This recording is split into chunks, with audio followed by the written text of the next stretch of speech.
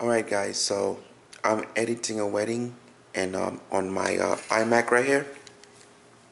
So what I want to do is I want to move this wedding to this computer so I can edit when I'm on the road, right? So I want to move um, this edit to this computer so I can edit when I'm on the road.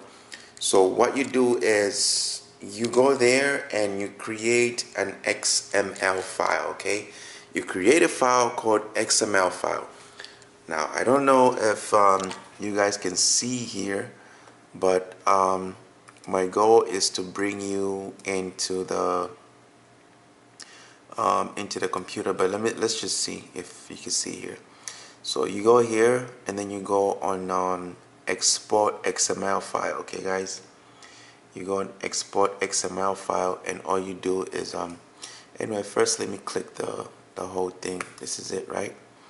So this is it. This is the one I want to move. So this one and then you go to export XML file up here. Export XML file. And then you can name it whatever you want to name it here okay? Um, for this example let me adjust the brightness here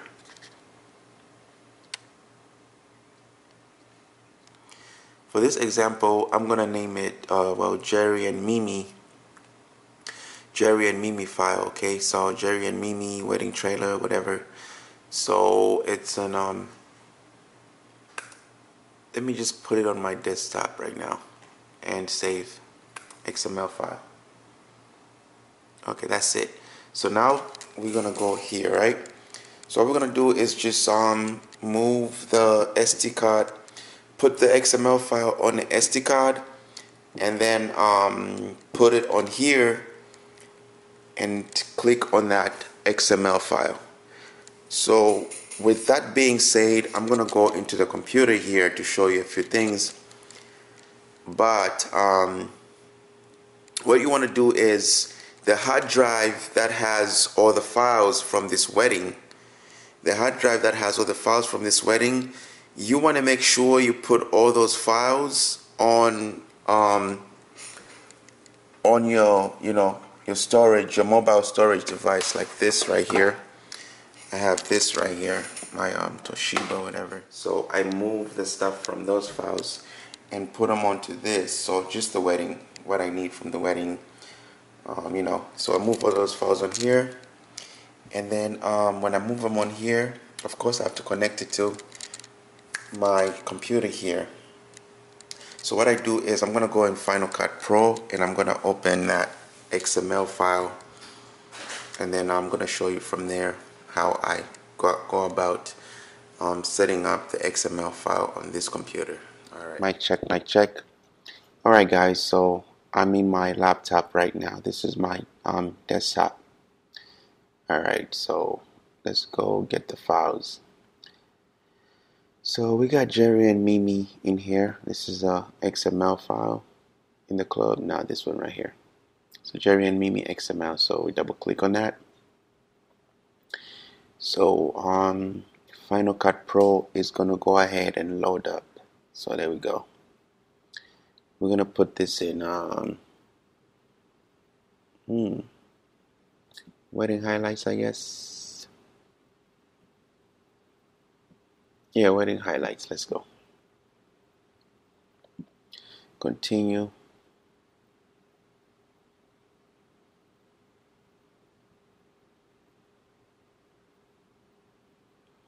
So as you can see, like I was saying, see how the title, because um, I don't have the, I don't think I have the same thing in here. So things like the titles and stuff like that, I'm not worrying about that because eventually I'm going to move this file back to my iMac when I'm done editing in here. So I'm not worried about titles and color grading. So where's this file? It's in um, right here in waiting highlights. So there we go, Jerry and Mimi. So click on Jerry and Mimi here. So as you can see, see how when I did this in um, when I did this on my iMac, everything showed up because everything was already in the system. So right now, none of these files are in the system.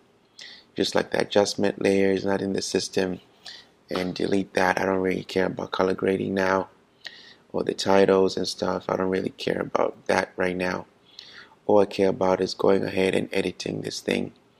So what I do is um what you can do is you can just move all the files from um from your you know the backup that I told you you put everything on. So in this case here it is so Jerry and Mimi this is all their files here. So you just move all their files see? You just move all their files from here. You can just drag and drop them in there. But um I don't recommend you do that guys because um when you do that you you're gonna use up a lot of space in Final Cut. What I recommend you do is you go here so you can create proxy files. You go on um, import media. You go to the hard drive that you have the thing on which in case in my case is this one Jerry and Mimi. Go down here. Bow I don't need the audio so I'll just go like this for now you can do whatever you can put whatever um, and then import so make sure keywords leave files in place yeah